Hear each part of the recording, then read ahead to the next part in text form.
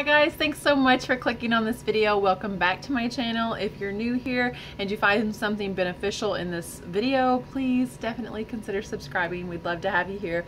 Hit the uh, bell notification and uh, I wanted to also announce that as of right now, hopefully not much longer, we're only three subscribers away from me giving away my 500 subscriber um, Michael Kors uh, kind of like a pencil pouch tote bag um, and it's stuffed full of vintage goodies. As soon as I hit 500 I'll make a video, show you guys what I stuffed in it and give that away to somebody. So um, without further ado, today's video I am talking about how I clean and refinish, re, um, rehabilitate thrifted designer, mainly leather goods, uh, purses, wallets, things like that that I find because I really like designer goods. I like them at a cheap price, okay? Uh, more often than not, I'm trying to find it used from someone secondhand in a way that um, I'll be able to clean it up and use it for myself because, you know, really high quality um, leather goods or high quality accessories the life doesn't end as soon as someone is done with it if they're not you know wanting to pass it on to their family or keep it in the family then a lot of times they sell the products um, for one reason or another they end up sometimes even in thrift stores. So um, I have a couple things that I want to go over with you guys about the products that I use and how I clean those um, leather goods and accessories. So number one most important thing is always if you're gonna buy an item and it looks trashed it looks destroyed you can even google like trashed Louis Vuitton on eBay and purses come up that. Uh, the average person would feel like they were absolutely trash. If you are going to buy a product, if it is slightly dirty all the way to trashed, buy it knowing, buy it with the intent that the stains will never come out that um, the tears will never be stitched. Okay, if you buy it and you see it and you think, yes, I am willing to pay this price for this condition item, you won't be disappointed. I have picked up um, goods before for $3 and um, think I could probably rehab that, but I'm not sure. But for $3, I'm willing to take a chance. If it never looks any better than it does right now, it was worth $3. I've also picked up items um, for $50. My last uh, haul video, I showed you guys my Gucci wallet that I just bought. It was $50. It was still worth the $50 to me if I never got it any cleaner than it was when I bought it. So please, if you're gonna buy these um, leather goods or high-end accessories, used, uh, damaged, stained, buy them knowing that the stain may never come out and then anything that comes out is to be a happy surprise right or you know whatever your threshold is that you're willing to maybe even you know kind of throw away please you know be good stewards of your money but uh, for instance, one coach bag that I bought, um, I thrifted it at a Goodwill outlet and I paid $3 for it. I wasn't able to get it totally clean, but I'm going to show you guys what I'm doing with that. So number two is um, my tip and advice is to mind your materials. You have to, have to, have to know the difference between um, a treated coated canvas. This is coated canvas. This is not this is not leather. This is an old uh, Gucci bag from the 70s. I have a video where I hauled this from eBay for $14.99. Um, it hopefully looks a little, little better than it did in the previous video. This is not leather. This is coated canvas. You need to know the difference in that and my new Gucci wallet that I just hauled on my most recent video. I hope that this is looking nicer than it did in the video as well. There's still some stains and things, but this is embossed leather, okay? You need to know the difference between those two things. You need to know the difference in that and um, a leather that is unlined, that you can uh, visibly see the suede on the inside. Mind your materials, know the difference. Um, and understand different types of leather. Like I said, that's an unlined leather. Um, you might get a newer bag that uh, had like a satin lining on the inside of the bag the thing the way that you can clean an unlined leather bag is not the same way that you would clean a bag that's lined in satin or some type of material maybe that you don't want to get wet. Um, number four uh, determine what's a stain and what's damage I'm gonna go back to the Gucci wallet again. You'll see on the back here this looks from a distance it might look dirty but on closer inspection, I hope that you can see that that's actually damaged. That's actually where the coating on the leather here, it's almost like a paint-like, has come off. I could scrub this as long as I would want to scrub it. I could scrub this for, for days. Sorry, the manicure, but not a video on nails now, is it? Um, but the, uh, the leather is damaged there. There's a big difference in a stain and um, and damage. You're, you could scrub this so hard that you actually create more damage. Be able to look at it and see on the corners here. the leather is actually peeled there. The the enamel coating is actually off of there. That's not a stain. I could I could scrub that forever. You have to know the difference in a stain and damage, okay? And um, mind your metals in determining whether or not you can soak a bag, because I am going to get into some bags that you can actually soak. Um, can you soak the metal? The last thing you want to do is rehab a beautiful bag and you have created the metal, um, created rust on the metal. Or, you know, just totally disregard the fact that you're using an abrasive cleaner next to a precious metal or something. Um, just be mindful of the fact that these bags do have like this um, vintage Gucci from the 70s has the cleanest little zipper. It is just it's so smooth and I don't want to mess this zipper up, okay? You can see how clean the inside of this bag is and I've got some things in there I want to talk to you guys about also. So let's just get into, um, now that you know those, those basics, how I actually clean these bags. Okay, I'm going to start with this bag. This is a Coach bag from probably the 90s. It's a tiny little crossbody. You can see what the leather is supposed to look like. It's supposed to have a little bit of sheen to it but I got this bag. It was nearly black. I paid $3 for it, which I thought was a bit much for what it was, but I knew what it could be. You can see all the discoloration on the front of it. It didn't come off. Um, so I have a different idea for this bag. I'm actually going to go in. I bought these little charms. They're little letters. Kate Spade kind of does this where you can uh, personalize your bag or monogram your bag and I'm going to spell out coach on the bag here all right? I want to make it look uh, kind of rock and roll so to speak. I got these push pins also uh, 86 cents at Hobby Lobby. Some of these push pins will go in this bag.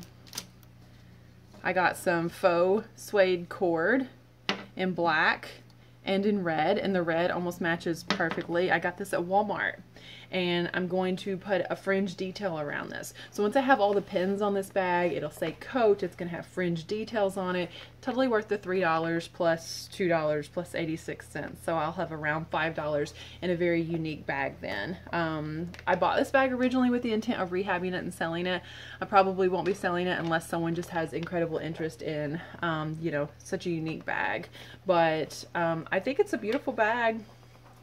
It's unlined leather with really high quality hardware. If you find a vintage coach that is unlined like this, let me tell you the best way to clean it. And that would be how I cleaned this station bag. When I got this bag, it was pretty dirty, but overall in, in really good condition. If you have a bag that is unlined leather like this, dish soap, okay, if they can use Dawn for um, oily ducks and it doesn't hurt them. It's not going to hurt this unlined leather. Now if this had a satin lining or something to it, I would be much more cautious um, about using this. But I literally filled my kitchen sink with hot soapy water and submerged this bag. And I left it there for hours. Like hours in the water. Um, I scrubbed it by hand.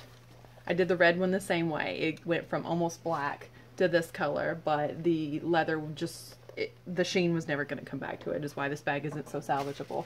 Um, the sheen came back to this. Once I I left it there for probably at least three hours three six hours um, the water was dark it was dirty. I rinsed this bag I, I drained the water I rinsed it until the water ran clear. Okay, no more soap on the bag. You don't want soapy residue on it. And then I stuffed it with, I used my dish towels. You could use paper towels or whatever, but I didn't want any residue since this is an unlined leather. I didn't want paper towel residue or anything. I stuffed it with dish towels and every single little compartment that was in here, I stuffed it here to help this bag maintain its shape while it dried.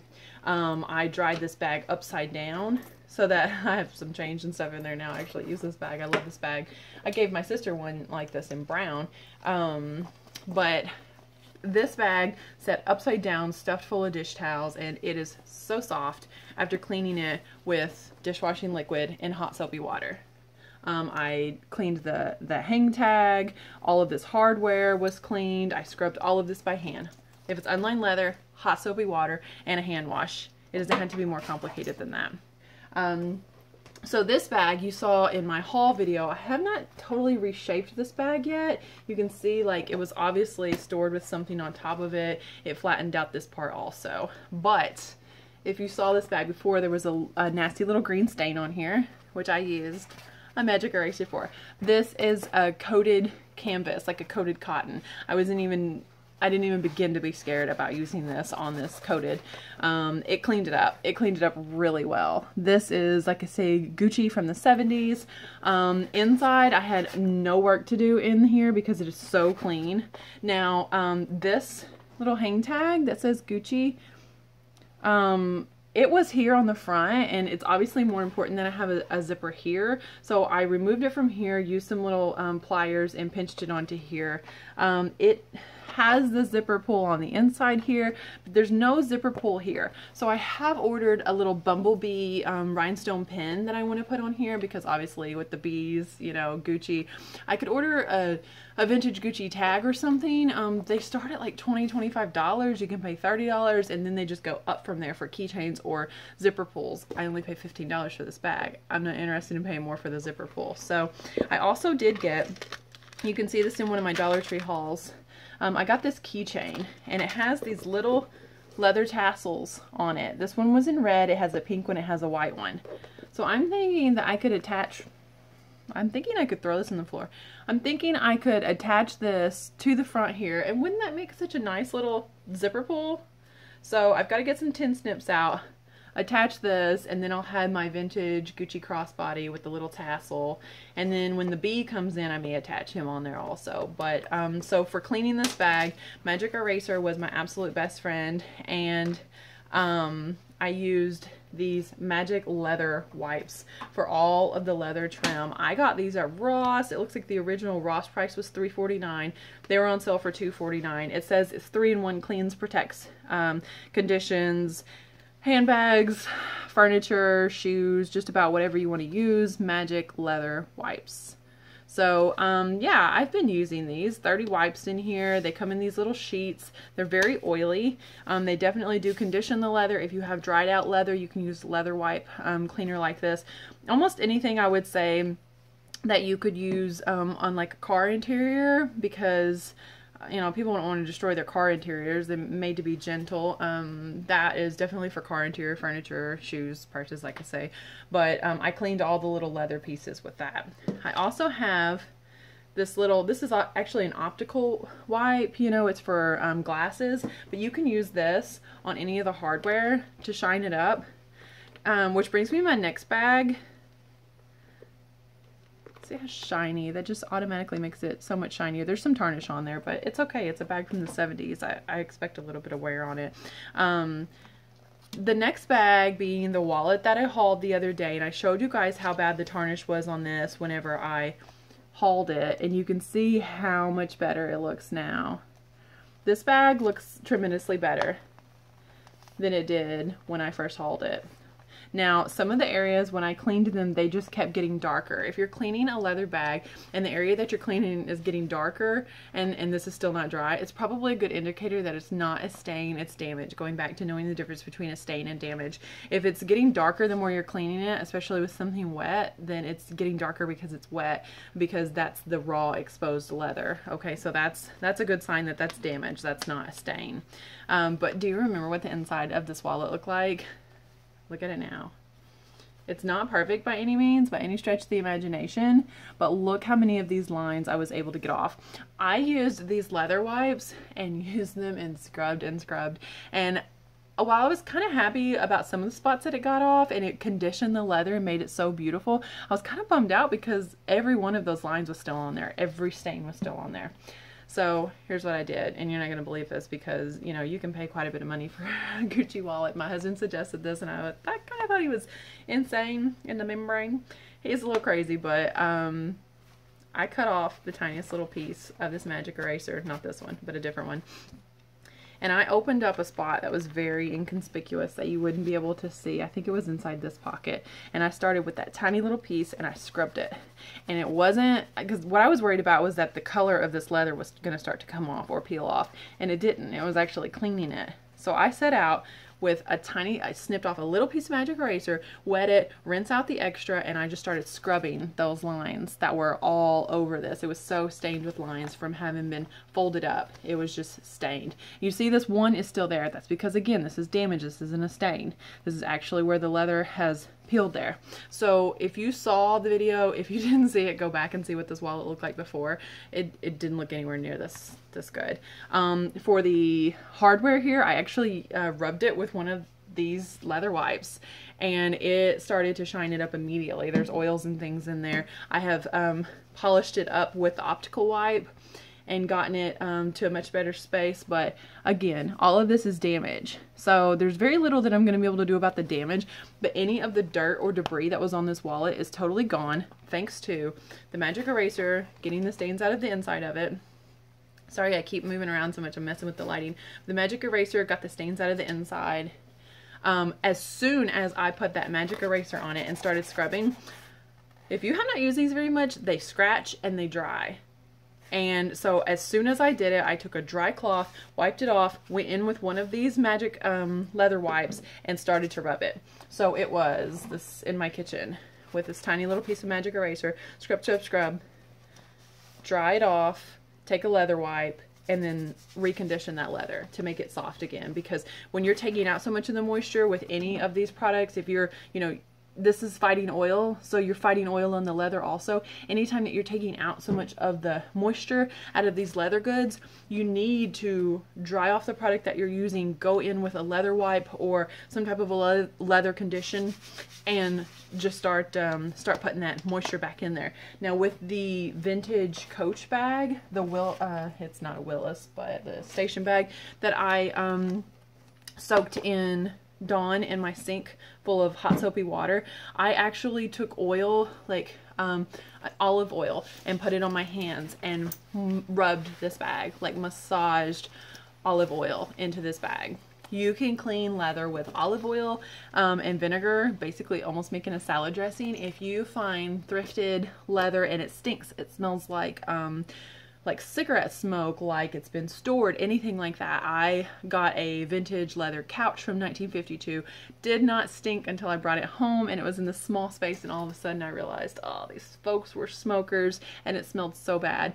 Um, I took uh, vinegar and olive oil all over that couch for a long time. It took a long time because it was a couch. Something like this, it's going to be, you know, 20 minutes or something that you're going to massage that in there. Um, it does not smell like vinegar afterwards. I didn't take vinegar to this bag. Uh, there was no smell, but I massaged it with olive oil. So please keep in mind anytime that you're using any of these cleaners on your bags, replenish the moisture. You know, all of these leathers are natural materials. Picture it like your skin. You know, it is an animal skin. Um, when you deplete it of so much moisture, you have to put that moisture back in there, okay? Um, now, I am in no way, shape, or form suggesting that you actually take a magic eraser to vintage or um, secondhand Gucci products or your Louis Vuitton or anything like that. I am not suggesting that you take one of these and just go hog wild. This is what works for me though. Um, if I had messed up this bag, it needs to be at a price that you're comfortable with if you accidentally trash it or keep it like it is. Um, would this bag had still or while it still functioned with the lines on it? Absolutely. But it looks so much better having taken the magic eraser to it and gotten that off. So um, I hope that this sheds some light on some of the products that I use. Again, um, you can use a baby wash or I would suggest Dawn um, dishwashing detergent because both of those are super, super soft. You could try to use a shampoo, but I feel like a shampoo for an adult is going to have a lot more stripping agents. I mean, think about it. You get that in your eyes and it burns. Not that Dawn wouldn't. I don't know. I never got Dawn in my eyes. Um, a magic eraser they're called magic for a reason guys especially on uh, like a coated canvas or coated you know weather treated cotton or anything like that a good leather cleaner, leather wipes, um, some type of a liquid, um, an optical wipe for, or you could use a jewelry cloth um, to clean up any of the hardware, hot soapy water, a dry towel to get those chemicals off. Don't be afraid. What's the worst that's going to happen? You might take a trashed bag that you got at an amazing price and destroy it that does sound pretty bad when I say it like that. You might take a bag that's already trashed and what what are you gonna do? Make it worse? My dad has a philosophy. Um, anytime I've ever worked on any kind of small engine, um, car engine, anything like that, he always tells me it's broke. You can't break it. Like just dive in, try something, okay? Try it in an inconspicuous area. Comment below what you use to treat your um, leather goods, any type of vintage products that you thrift and and rehab those to their natural beauty. I would wear any one of these purses out in the condition that they are. Um, but, you know, I probably would have worn them out in the condition that they were. so let me know what you think. Um, comment below. Definitely, like I say, like this video if you like this video. And if you are interested in, in more videos like this, please subscribe. God bless you guys.